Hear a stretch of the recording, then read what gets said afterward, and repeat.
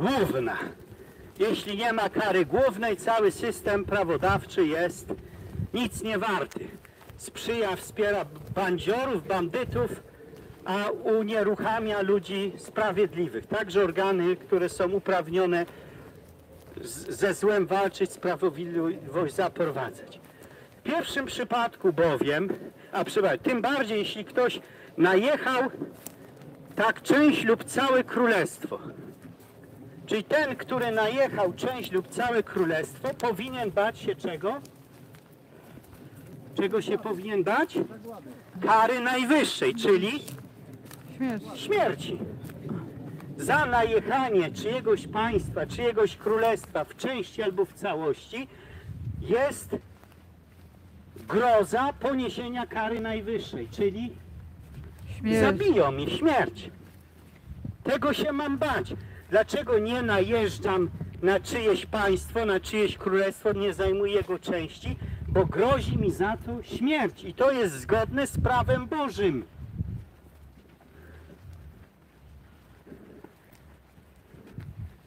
Mo, może by było za dużo powiedzieć, że Bóg tego chce, dlatego że Pan Bóg nie chce, żeby ktoś najeżdżał czyjeś królestwo, czyjeś, czyjeś państwo, chyba że dla jakiejś uzasadnionej, słusznej przyczyny, jeżeli ma po temu prawo. Pytanie jest, czy ma. Natomiast y, na, na pewno Pan Bóg dopuszcza, żeby uchronić Boży porządek spraw w tym świecie, że jeżeli narusza się część królestwa, czy całe królestwo, państwa, to ci, którzy to robią, muszą bać się śmierci. Tylko i wyłącznie. To jest w stanie ich powstrzymać, albo to im się należy, jeżeli ich nie powstrzymało. Tym, tam, tam wyrządza krzywdę pojedynczej osobie. Przepraszam, w pierwszym przypadku bowiem naruszałby pokój jednej osoby, a tutaj pokój powszechny. Czyli proszę zwrócić uwagę, kary śmierci nie tylko się ma bać ten, który najeżdża całe państwo, całe królestwo, ale ten, który nastaje na życie jednego człowieka. Czyli i, i teraz zaczynając od tego, że, że życie człowieka zaczyna się z momentem poczęcia, sprawiedliwym wyrokiem wobec tego, kto poddaje się dziecku aborcji temu, kto aborcję wykonuje, jest kara, kara śmierci, żadna inna. Nie jest adekwatna wobec faktu.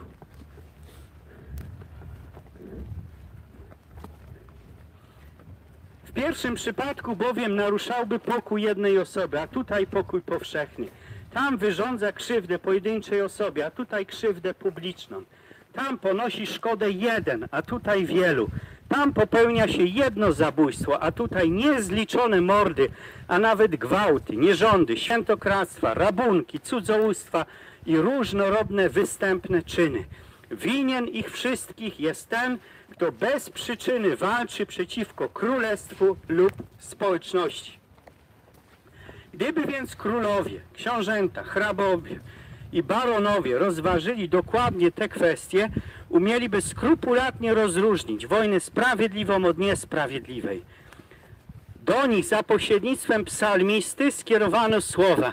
A teraz królowie zrozumcie, nauczcie się sędziowie ziemi, służcie Panu z bojaźnią i Jego nogi ze drżeniem całujcie.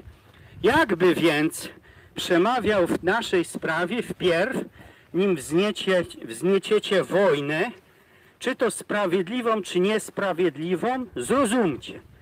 Jeśli istnieje jakakolwiek niepewność co do wojny, czy jest sprawiedliwa, czy niesprawiedliwa, nauczcie się, abyście poznali, czy sprawiedliwość stoi po waszej stronie. Służcie Panu z bojaźnią, a tak będzie, jeśli z pobożną surowością, religiosa servitate, zakażecie, będziecie karać i piętnować te wszystkie działania, a dokonane przeciw Bogu i sprawiedliwości. Proszę zwrócić uwagę, jest odróżnione Panu Bogu i sprawiedliwości. Ze względu na to, że sprawiedliwość będzie dotyczyła sprawiedliwości wobec Pana Boga i wobec człowieka. Jego nogi ze dr- z drżeniem całujcie, a stanie się tak, jeśli powaliwszy nieprzyjaciół pokoju, przypiszecie zwycięstwo nie waszemu męstwu, lecz łasce Bożej. I dalej.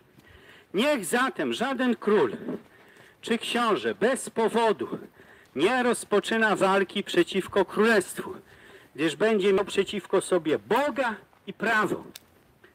W przeciwnym razie musi obawiać się kary, która na niego czeka, a będzie to najstraszliwsza kara piekielna, tym cięższa, im większą uczyni rzeź lub zniszczenie. Czyli ostatecznie tutaj Stanisław ze Skarbmierza wskazuje na karę piekła.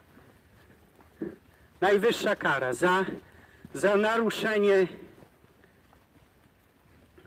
pokoju, terytorium, najechanie królestwa, części królestwa. Niech zatem żaden król czy książę bez powodu nie rozpoczyna walki przeciwko królestwu, gdyż będzie miał przeciwko sobie Boga i prawo. W przeciwnym razie musi się obawiać się, która kary, która na niego czeka, będzie to najstraszliwsza kara piekielna, tym cięższa, im większą uczyni rzeź lub zniszczenie. Jeżeli, czy nie wtedy, jeżeli się chce zająć państwo na dzisiejszy czas, po doświadczeniach ludzkości 45 rok użycia atomu, czyli możliwości włączenia mechanizmu sądu ostatecznego, niszczenia, zniszczenia zagłady ziemi, na której człowiek by, bytuje. To zakładając, że bronią nuklearną się straszy, jaką broń można użyć, żeby realizować cele wojenne na najprostszy sposób. To dzieje w naszych oczach. Zajmowanie państwa przez przesiedlanie ludzkości w, w państwie, gdzie wywołało się wojnę. To jest tego, tylko demografia użyta jako broń. Zamiast bombardować państwo, wpuszcza się milion, dwa miliony, trzy miliony uchodźców. Dlaczego? Dlatego, że za chwilę ktoś zawoła o to, że Polska już nie jest, nie należy do Polaków, tylko do kogo? My wsie z wami. Skoro my wsie z wami, to Polska jest, jest nasza. I ktoś ma tytuł wkraczać do Polski, żeby broniąc interesów Ukraińców jednocześnie realizować plan Ukrainy. Czy jest to sposób rozmontowywania państw ościennych, zajmowania kolonizacji na współczesny sposób? W przeciwnym razie, czyli za zajęcie państwa, musi obawiać się kary, która na niego czeka. Będzie to najstraszliwsza kara piekielna, tym cięższa, im większe uczynił rzeź lub zniszczenie.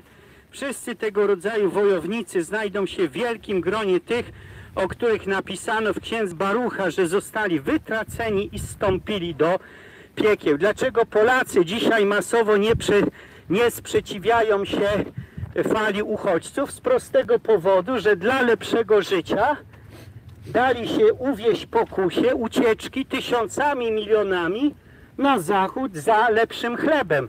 Dlatego łącznie z moim bratem, który dzisiaj ma zrozumienie dla przyjmowania Ukraińców w Polsce, bo sam szukał chleba w Londynie i tam go znalazł, więc by się cieszył, jakby w Anglii znalazł polską flagę i, i, i, hasła, że my wsie z wami po polsku. Jesteśmy We are with you.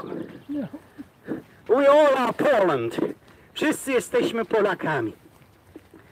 Natomiast na, nam jest ważne widzieć, że dzisiaj zamiast albo wraz z, ze strzałami, z, z kulami armatnimi z samolotów i tak dalej, jako bomby, jako pociski idzie broń demograficzna, przerzucanie ludzi, wpychanie ludzi jako czynnik zajmujący sąsiednie państwa. Rozważmy, kiedy wojna jest sprawiedliwa. Wtedy, kiedy prowadzi ją osoba świecka, a nie duchowa, bo tej zakazano przelewać krew ludzką. Jest odpowiedź, dlaczego, dlaczego księdzu nie wolno powiedzieć, pomyśleć na sposób, że że komuś wolno dać, czy powinno się dać w zęby? Już pan ma odpowiedź? Rozważmy, kiedy wojna jest sprawiedliwa. Wtedy, kiedy prowadzi ją osoba świecka, a nie duchowna, bo tej zakazano przelewać krew ludzką. Dlaczego świeccy chcieliby od duchownych legitymację uzyskać? Yy, W islamie się to dzieje notorycznie do przelewu krwi, no bo zdejmuje to odpowiedzialność. Yy, Obowiązek rozeznania zdejmuje odpowiedzialność yy, i obowiązek męstwa, dlatego że idąc na wojnę, a nie wiem czy z wojny wrócę. Idę na wojnę nie po to, żeby się w okopie kryć, tylko żeby z okopu głowę wychylić i strzelać. Będę strzelać do kogoś, do mnie strzelam.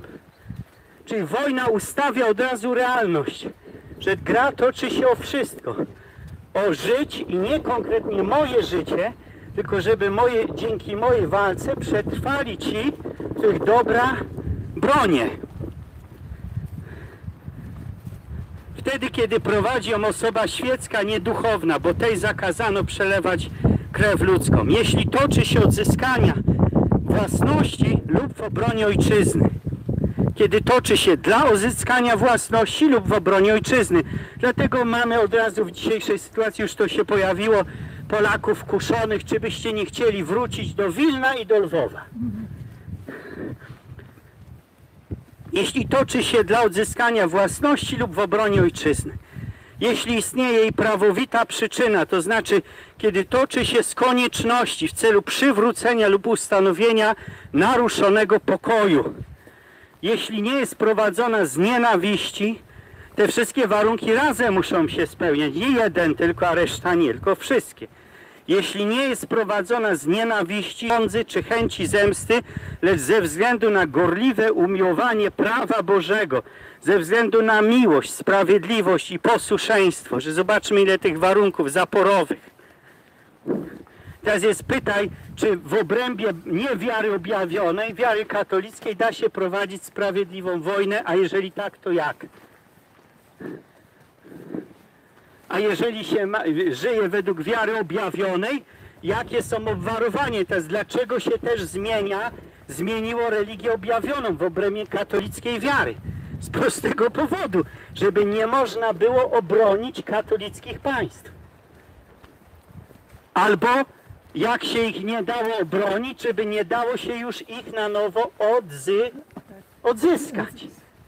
Że jak z, na skutek Wielkiej Wojny która była wojną masonerii, czyli pierwsza wojna światowa, wojną faktycznie światowej masonerii przeciwko całemu światu, w którym jeszcze panowały Królestwa Boże, po to, żeby te królestwa zlikwidować, to konsekwencją jest, że zaraz za tym trzeba doprowadzić do soboru, który na nowo ukonstytuuje Kościół. A tu bardzo słuszna Pana dzisiaj zwrócenie uwagi, że w podobnym, czy, że trzeba widzieć korelację czasu zamiany mszy, 69 rok i zamiany pieniądza. Utworzenie w Stanach rezerwy federalnej, która pozwala drukować pieniądz nie w oparciu o parytet złota, tylko według własnego widzimisię. Nieustannie prze, przekładanego, czyli mamy w świecie ruszone dwie rzeczy, fundamenty. Fałszywa wiara w miejsce katolickie z, z autorytetem soboru i posoborowych papieży i pieniądz, który przestał być pieniądzem, stał się papierem. Przykład tu, która pani podawała, że, nie pan podawał, że żydowskie banki w czasie II wojny wspierały zarówno jednych, jak i drugich. Byle pieniądz szedł, interes się kręcił. Więc istotne jest, że że pytanie jest, czy, czy nie mając wiary katolickiej da się prowadzić sprawiedliwą wojnę? Jeżeli tak, to, to, to, to, yy, to w którym momencie ona przestanie być sprawiedliwa, bo musi przestać być sprawiedliwa. W związku z tym, żeby świat na pewien sposób przez wojnę zdobyć, trzeba zdobyć prawdziwą religię, dlatego że wtedy nie da się bronić państw, da się obronić tylko sprawiedliwą wojną, a wprowadzona niesprawiedliwość nie może być nigdy, yy, od, znaczy nie, naruszona sprawiedliwość nigdy nie może być odzyskana, tylko świat się będzie posuwał w coraz większej niesprawiedliwości. Warunki ważne. Jeśli nie jest prowadzona z nienawiści, żądzy czy chęci zemsty, lecz ze względu na gorliwe umiłowanie prawa Bożego, ze względu na miłość, sprawiedliwość i posłuszeństwo. I posłuszeństwo. Posłuszeństwo władzy boskiej i ludzkiej, która tą Bożą władzę yy, reprezentuje i jej cele realizuje. Zasady. Jeśli wreszcie toczy się z up